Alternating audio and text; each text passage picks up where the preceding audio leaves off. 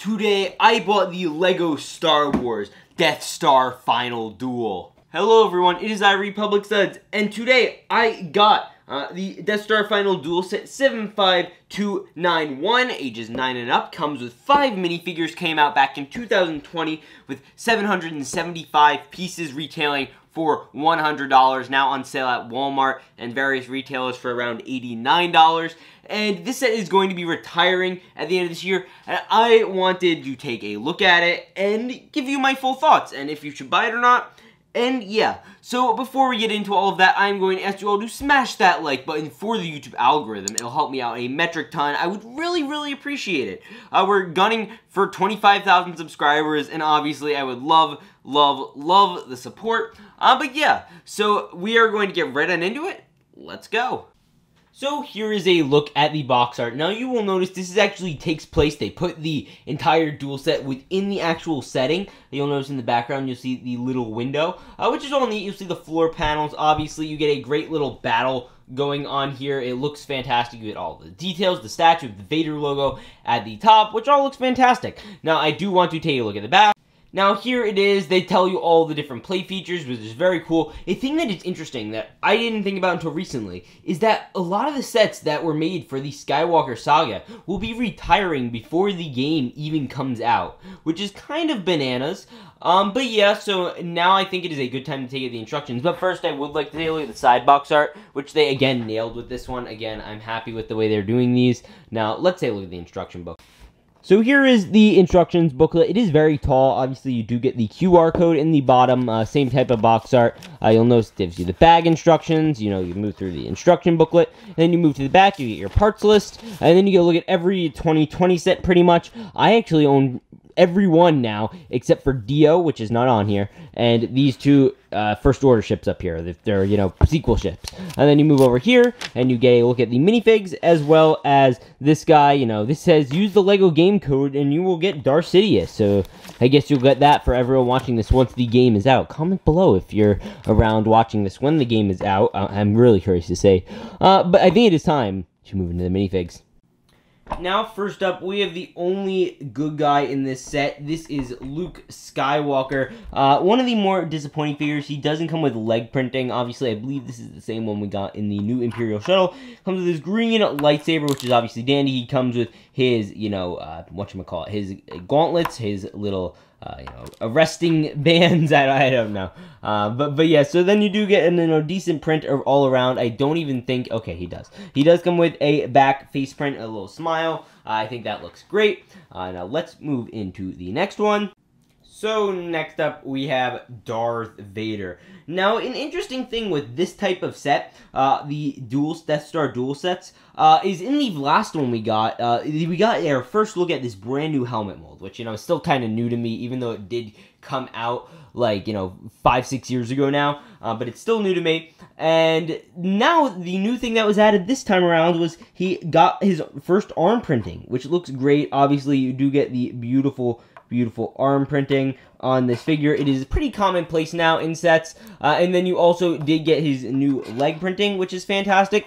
Uh, and, you know, again, we brought back the old helmet. That is, again, very nostalgic for me. And I'll talk about that a little bit later on. Uh, we get him with his smiley face. And we turn around and you do get some of the cracks on the back of his skull. And I'll lift, even lift this up and you do get some back printing, which you don't get with some other figures uh, in this wave or in this set, which I'll talk about a little later. Uh, but either way, Vader is obviously a very great figure. Uh, let's move into the next ones.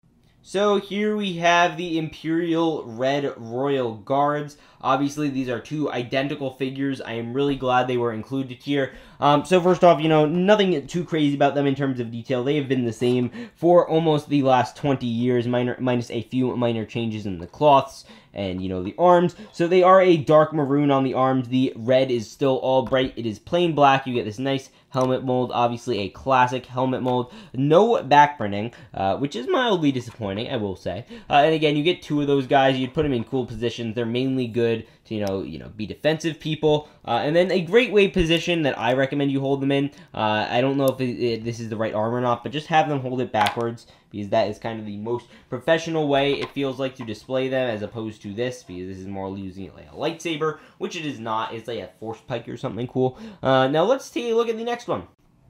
Next up, we have the Senate. This is Emperor Palpatine, obviously a classic character. He comes with his two uh, lightning electric bolts. Uh, you know, these have been around in LEGO Star Wars for a while. He also does come with his golden lightsaber, which I didn't even think he had. I thought it, like, got flown out the window. I didn't know he had a lightsaber after Revenge of the Sith. Maybe he did. He probably did. Um, but yeah, so then he is pretty basic. He comes with his regular print. You know, we've gotten this one in the past. Uh, he does come with a cape. Uh, he has no back printing too, uh, which is mildly disappointing. Again, uh, he comes this is his first appearance with this new hood, so he's technically exclusive to this set. Uh, I believe the only exclusive one still because again that hood uh, is a little little special. Uh, but yeah, so it's I'm having a hard time you know focusing here. Uh, but yeah, so anyway, Palpatine is great. Uh, he has a little bit of a smile on there, and then we'll twist the head around, and he will put on his angry eyes, like Mr. Potato Head or something. Uh, and then, you know, that's all great, and I'm really having a hard time focusing. Okay, there he is. There is Emperor Palpatine. Now, it is time to take a look at the build. So here is the set first in its most compact state, and there are so many ways to display it. Uh, but if you want a just compact type build to put on uh, your shelf, but you know it's too you know wide or whatever, this is the way you're probably going to do it. Now, my preferred way of doing it is first you have to uh, pull these two sides apart. Uh, you know they are pinned in, and we'll show that in a second. And then you could just pull this out and then you can obviously, you know, pull out these pieces here, and I really like the way that looks. I think even if you tuck it in a little bit, uh, and that just looks fan friggin' tastic. Now, I kind of want to move front up and then I'm going to move from one side to the other. Uh, so let's start with the entrance. So here obviously is the first door. Uh, now I'd like to start off, this is very different from the previous versions of Emperor Palpatine's throne room. You do get this little gold ball display piece. I think these are like Sith artifacts or just, you know, general political artifacts. You do get these little, you know, ski pieces that are used as like almost like doorbells or something. And then you do get this little green army man dude. I don't know what he's supposed to represent. And then you get this great little entrance. Now I do want to show the doors in a second, but I first want to prop up the Red Royal Guard. So here they are, obviously very epic. Uh, a, a, small note is this is not really lore accurate. This is a Creative Liberty Lego took piece. This is supposed to be really an elevator, uh, and this does not look like an elevator room.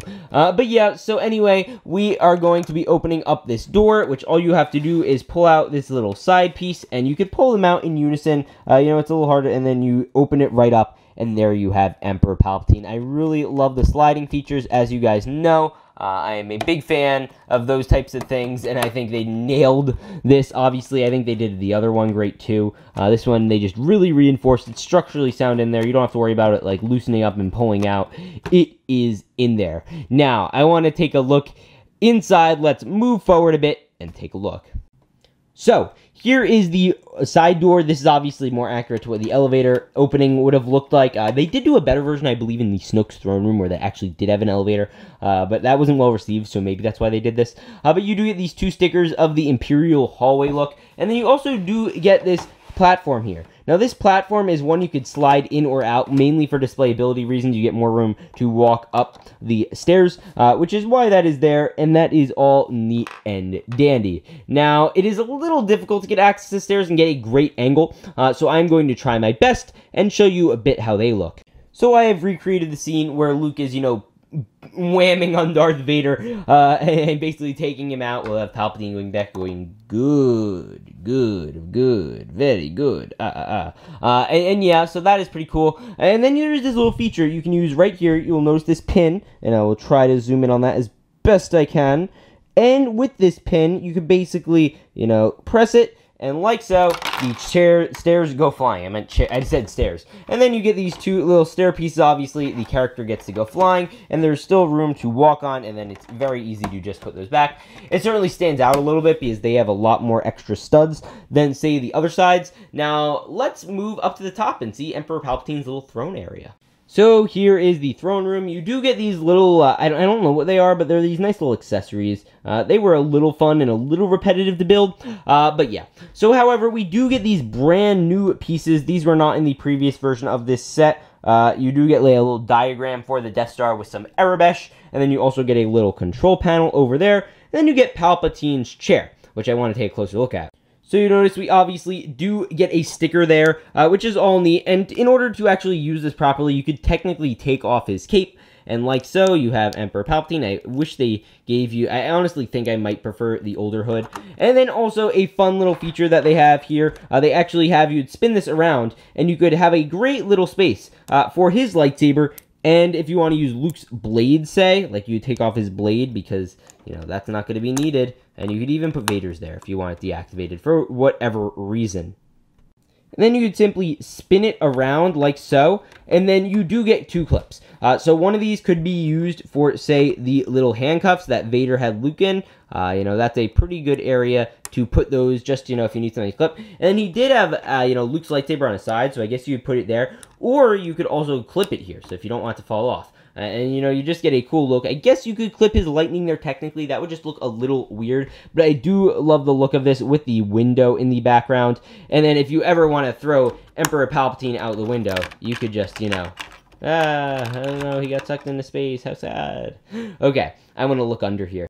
Now this build actually looks somewhat like an underground submarine of sorts, and all you have to do to move this is take this piece off, and then like so, you will notice you get some clips. And I want to bring this forward. And this was one of the things I found fascinating because in the previous build, you had a little feature that you'd fling up Luke's lightsaber that he could grab uh, from behind Palpatine. They got rid of that in this build, uh, which I thought they included, but it was kind of disappointing. I didn't realize that until I built this, and I'm like, hey, they didn't include that. It was a bit of a finicky thing, uh, but you do get areas to hold his uh, hood as well as the lightning, obviously, which is great, and I really do appreciate and want to hook the hood on. And there you have a great look at that. You'd have these guys in kind of like holding Palpatine's cloak, and he could walk up, or Luke could walk up and be like, okay, now I am Darth Sidious or, or Darth Luke Skywalker or something. Uh, that, that is kind of a cool looking thing. And again, you can play, put, place the top area back on top. You just simply push it back in, and you still do get this area, and it is nice, and it can be used, and you could have Vader and Luke actually fight under here, uh, which is pretty great, and you also will notice you do get this little crate piece like this thing, as well as all of those blue uh, shiny guys. I, again, I don't know what the blue, like, little orby things are. Uh, now I want to take a look at this side, actually, so let's do that. So this is where Luke basically has to jump up to escape Vader. So Vader is like, bum bum bum, I'm here. Where are you, son? I just want to talk. Uh, and Luke's like, no. So you just simply press on this button right in the corner here, and you will fly him over, and you will fly him up onto this platform. Obviously, that will never ever work. Uh, it will never get up on the platform. Uh, but but it symbolizes it's a fun play feature to fly him around, like with these stairs. Uh, and, and let's put Vader down. Now, obviously, we do have Luke up here, which looks fine and dandy, but the problem is, like, Emperor Palpatine, be yo, Vader, he's right there. And, Vader's like, oh. And then Vader will go and cut this little piece right here. So there's this little thing, it's connected to studs, which is way better of a feature than the last one. And then it will just knock it over, and it'll knock it in, and Luke will fall under. Now, I will do that again, and we're just gonna knock it in. Luke falls down, and he has to go fight Vader or whatever. Obviously, you know, that was a pretty fun feature in the last one. I'm glad they improved upon it here, and I think it works really well. I do like the way this little piece just kind of hangs in there, uh, and I think they did a good job with that. And again, there are these clips here if you want to duel them as lightsaber clips. Feel free.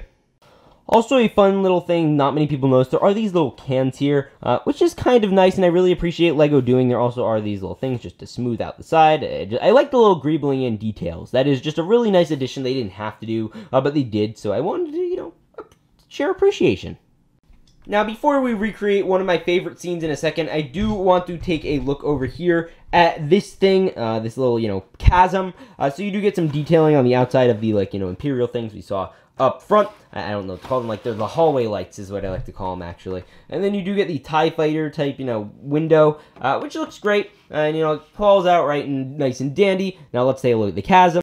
So there is the chasm. There are stickers down there to, you know, resemble it, but it's kind of difficult to, you know, get the message across. But now I would like to recreate the scene you have all been waiting for.